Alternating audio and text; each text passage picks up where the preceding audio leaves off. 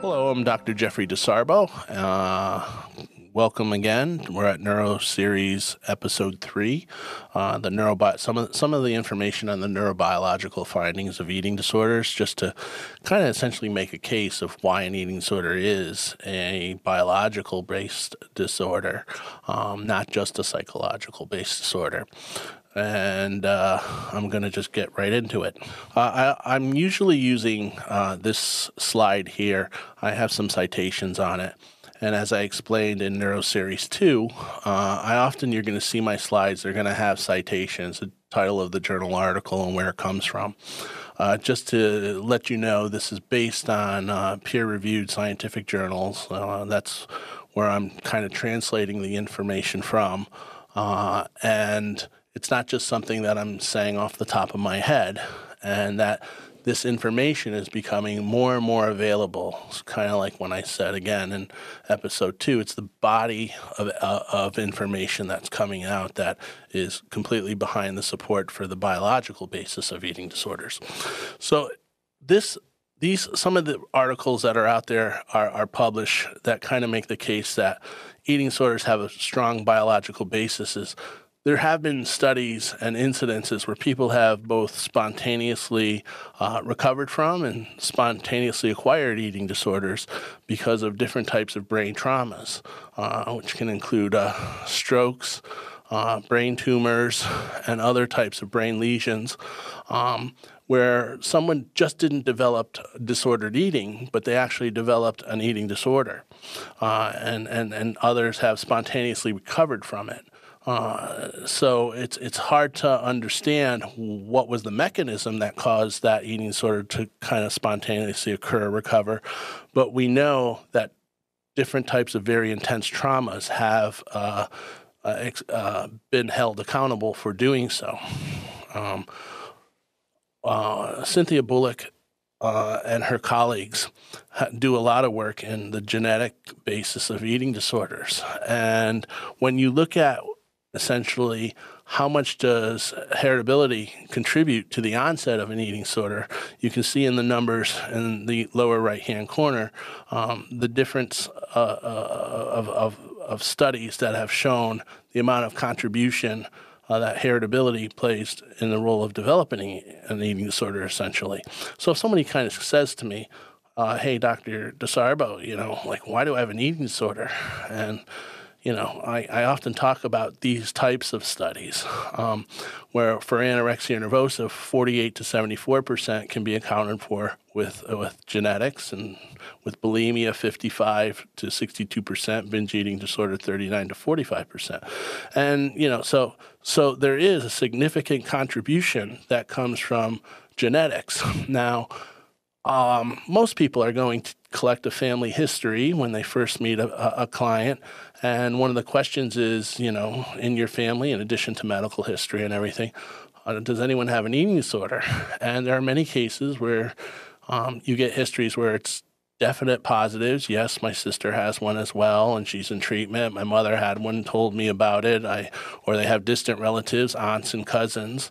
Uh, other people will kind of give a, well, uh, there are some interesting patterns my father has with his eating, but never technically diagnosed. Or, you know, my my my cousin has some odd behaviors, but no one speaks about it. And then there are people who say, "No, I have no idea, no clue of anybody in my family who has an eating disorder," which again isn't unusual because most people are not walking around talking about and sharing information of the, the about their eating disorder because so many people feel embarrassed or ashamed, and so it's hidden, it's kept a secret. They don't want people to know, and families often then continue to do the same type of thing. So it's hard always to get an accurate, um, uh, reliable source of information as to family history with an eating disorder. But you can see there's there's usually something there that sets a person up. Um, now, if you're genetically prone to an eating disorder, you may or may not end up having it set in motion. This isn't just an eating disorder. This can be things like somebody who, who has cardiovascular disease, and they may be prone to having a cardiovascular event or a heart attack. And depending on their genetics, those could it could be a strong um, predisposition to developing that. And no matter what they do and how well they take care of themselves and and exercise and live a healthy lifestyle, they could still have an event. While other people um, if they're prone to it and, and, and they don't take care of themselves and live a healthy lifestyle, may definitely have have uh, that event occur and arise maybe sooner than later. Um, so with genetics, there's this concept of epigenetics, and that's what sets that that eating disorder in motion, even if you're prone to it. Again, like I said in the beginning with the four P's, there are the things that predispose you, which are kind of like your genetics, and then there are, are are things that kind of set it in motion with those genetics. That's that's what what kind of um, people call epigenetics is a term used where there's this chemical methylation of along the DNA strand of genes that kind of turns them on and makes those genes become more active. And some of the things that affect the methylation of the DNA and the concept of any epigenetics includes things like just basic human development. You know, uh, how does somebody, you know, if you have strong genetics, just developing along the lines that that process may occur. There's psychological states uh, that are affected by things like trauma, mood, stressors, personality, personality disorders. Um, there's medical states, diseases, medications, uh, all types of things in the medical realm that can kind of uh, turn that gene on. There's social and interpersonal reactions, child rearing exposures, relationships. Um, there's diet and exercise, which can turn on that eating disorder gene. Uh, drugs, chemical exposures, socioeconomic status, culture expectations, expectations that one places upon themselves. And more and more recently, uh, the research is coming out that uh, is around uh, personal and sexual identity issues. You know, how does one kind of conceptualize who they are and, and with their personal identity. But then there's more and more coming out with issues around sexual identity and how that affects the the onset, the type, and, and, and kind of the treatment and course of an eating disorder when people have issues with sexual identity. What's important to know is when you look at the research, you're going to, uh, across all the journals, this is showing you the different lobes of the brain. There's the limbic system on the inside of the brain. And there are articles on all of these brain regions and what's different about them in individuals with eating disorders versus what they're always referring to as a healthy control, which means somebody who does not have an eating disorder. And the changes are apparent. There are changes in brain volume, changes in the brain's anatomy, to both the lobes uh, and tracks on the inside called the white matter tracts.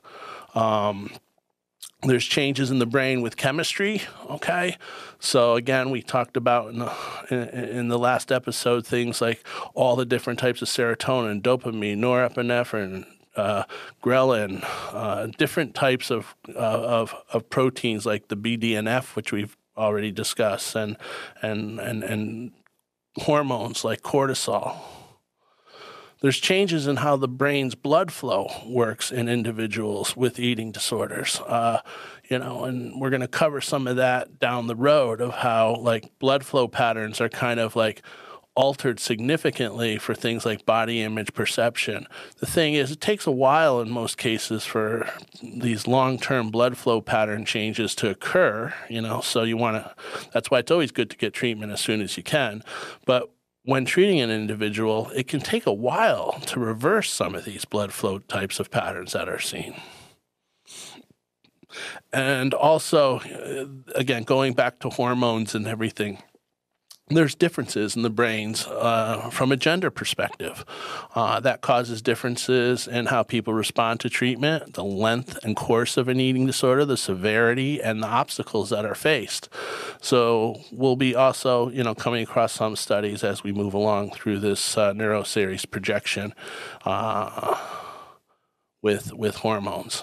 So essentially, you have uh, all these different types of changes with eating disorders and changes in brain mass, changes in anatomy, chemistry, blood flow, and neurohormones.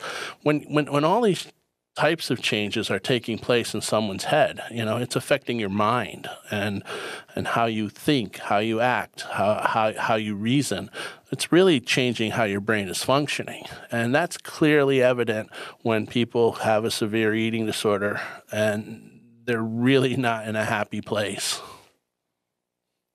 I've discussed previously and want to go back to this slide here that when, we were talking about the, the biology and the neurobiology of eating disorders, you know, as we've discussed, one system can affect the brain. So cardiovascular system can affect how brain's functioning. The brain's functioning can then feed back and affect the cardiovascular system. It can affect the renal system. It can f- affect the reproductive system, the immune system. So it's important to remember that there's this back and forth connection. That's why, you know, treatment teams must be in, in close contact with their physicians. It's and, and these days it's hard to find you know medical doctors, physicians, general practitioners, internists who truly understand eating disorders and this back and forth feedback system that goes on with the brain body axis. But when we talk about recovery, and uh, when I'm working with an individual, this is what I'm thinking about: is that neurorestoration, restoring the brain and the central nervous system, is really what an eating disorder is all about and what recovery from an eating disorder is all about. It's kind of getting it back to baseline.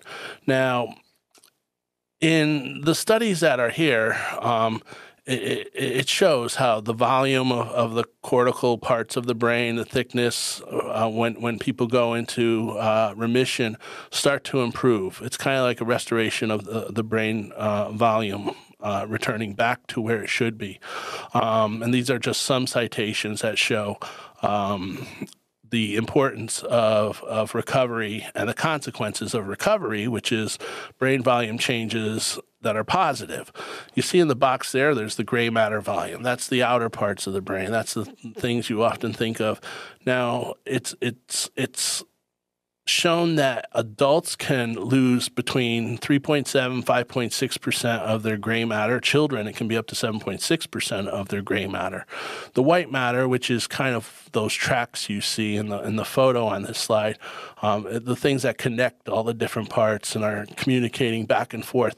Again you adults have you know 2.2 to 3.8% children over 3% volume loss of white matter tracts. So if you think about an, a human being having, let's say, 100 billion, uh, 120 billion neurons, and you're losing, let's say, 5% of that, you know, you're, you, we're talking about that affecting, you know, five, six billion neurons, you know, and I always say, I think of it when I'm working with a patient this way.